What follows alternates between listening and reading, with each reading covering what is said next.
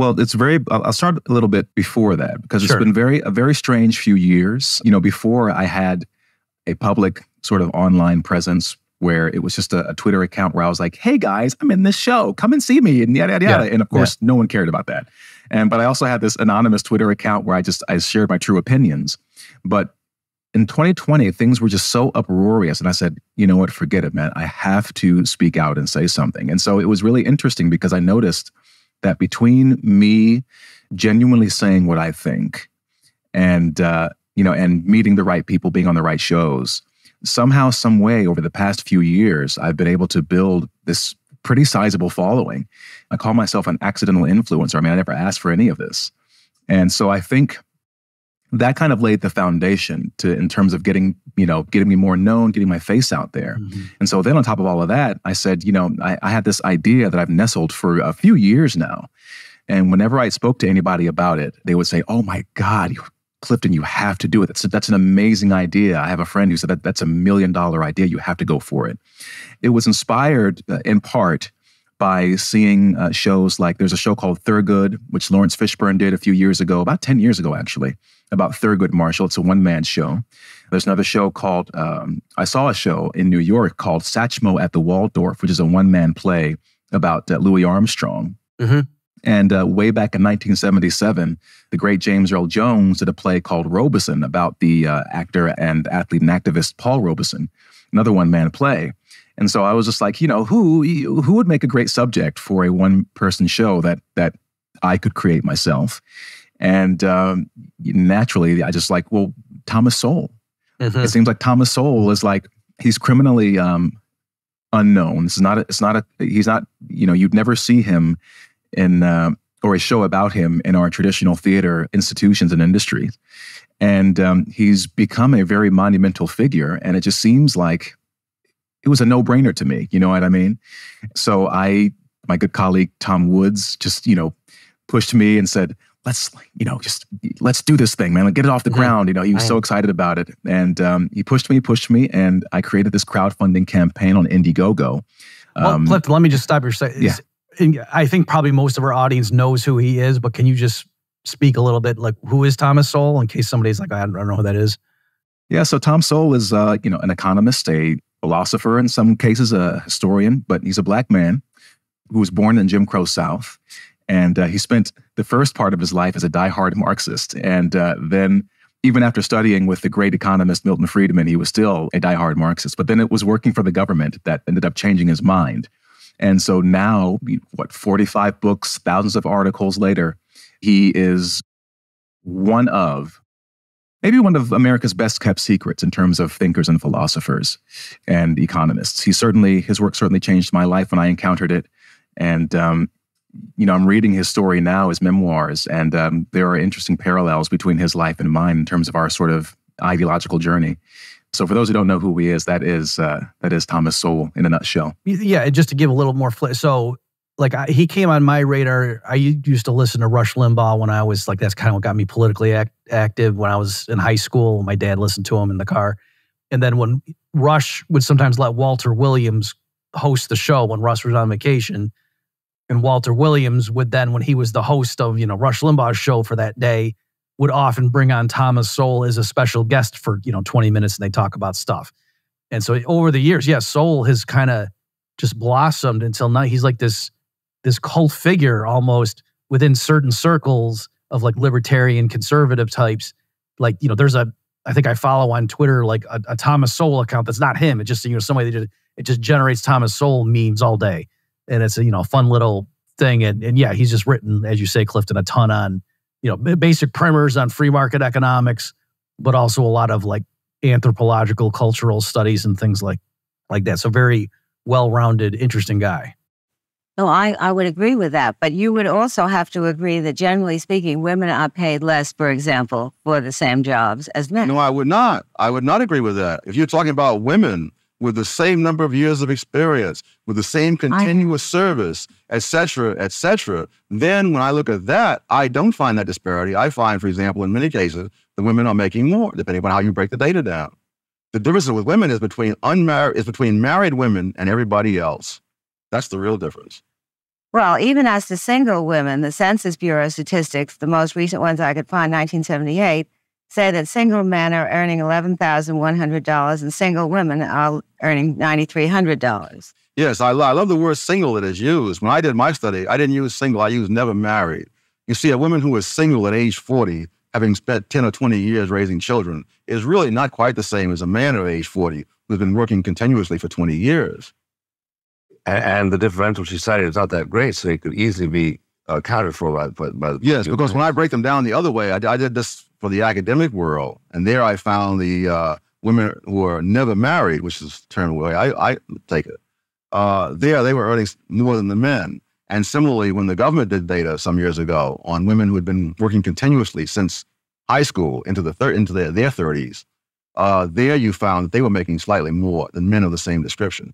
Well, you know, he, he a lot of his work, the scope of his work, it really covers like just the the human condition in a really in a really interesting way. And um, you know, but it's funny because he's enjoying a bit of a renaissance right now in terms of popularity. You can go to YouTube right now and you can find videos of like young people watching his videos and reacting to them and saying, "Oh my God, like I, this guy makes sense. How come I've never heard of him before?"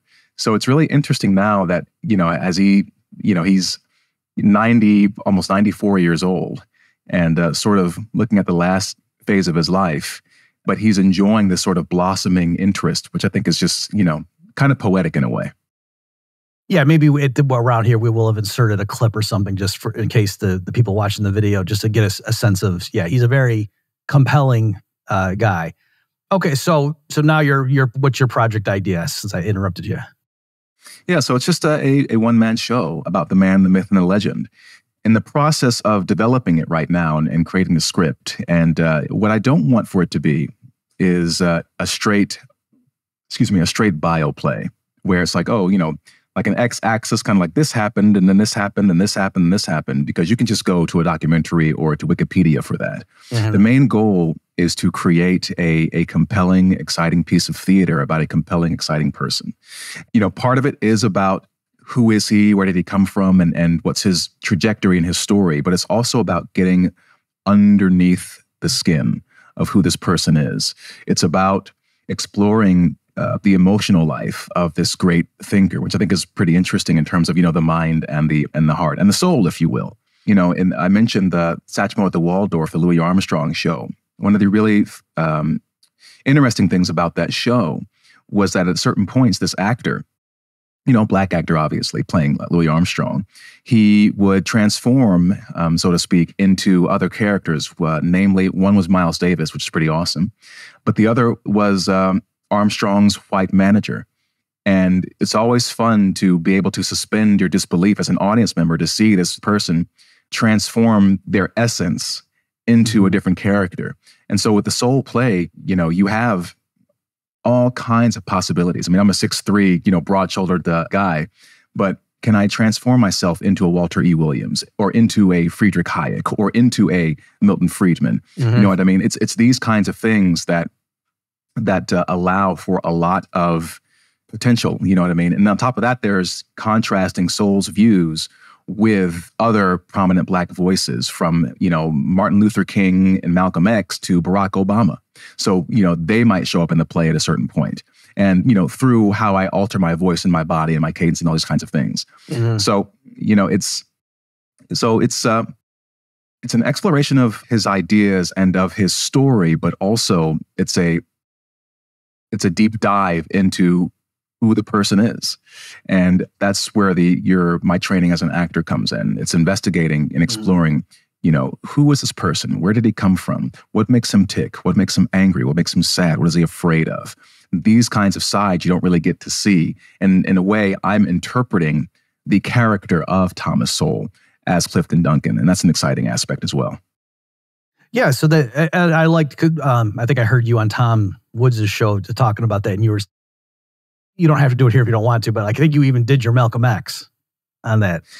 oh did i i don't remember that but uh, yeah no i won't do it here Do it. but uh, you know it's, but that, that's when you did it. I realized, like, oh yeah, so this isn't just Clifton Like it's not just Thomas Sowell talking to the audience. Like, and then when I was 15, I got this for my birthday, and then I did this, and then I read this book. And Right. It's it's you know because it, that that's just the most boring thing you could ever think of so you know you want to you want to reach for what are the most exciting dynamic parts that, that you can pull out. And i mean i already have i already know that i don't want the show to be like in a flat proscenium. I'd- rather do it in a in what's called a thrust stage which is you have an audience in front of you and on and on the sides. And it's very it's way more immersive. And you know i mean there, there's all kinds of things you can do. It's a really really exciting prospect. But part of that again is putting in the work to what I, like what i want to do ideally is to become so familiar with the character of thomas sowell that i can be able to improvise you know Mhm. in in character and play in character that's when you know that you really nailed it that's the big journey that that, that we're on right now Have you ever in your career thus far played a historical person before? um i actually played malcolm x oh, on a, okay. so um, maybe that's why. Yeah, you- that. Well, there was a, but I mean, you know, it was like a, a one day, it was like a, a, a quick guest star on a CBS show. But uh, have I played anyone? Like, uh, it's been so been so long, I can't remember. Um, I don't think so. But you know, it, it's interesting because it's a challenge because you don't want to. The trap is falling into mere interpretation. Uh, excuse me, um, impressionism right. and mere imitation. You know, because then you become basically like an SNL sketch Mhm. and there's no there's no depth underneath the surface. It's just very superficial. Oh, okay, he sounds like that like that person, but it's it's like a, it becomes parody basically. Right. What you want to do, I mean, an example I can think of is like um, is Will Smith and Ali. Yeah. Um, you know, like it's Will Smith is capable, you know, when he applies himself, but it came off as more of someone trying to play Muhammad Ali versus oh versus Denzel Washington playing Malcolm X, and you're like to the point where he was so good in that movie that when I see a picture of Malcolm X today, I see both men. You know what I mean? Mhm. Like, you know, Denzel looks nothing like Malcolm, but he found something inside of himself. You know what I mean? He like he was able to channel the essence of Malcolm X. That's what's what you want to do as an actor. It's your you want to find your way into, you know, what are the parts of you that are analogous to the character you're playing? You know, how are they different? How can you make these different aspects, you know, real to you? How can you use yourself, right? to become the, like use the aspects of yourself in service of uh, becoming this other person and that's where the the fun and the challenge is and that from that aspect and that point of view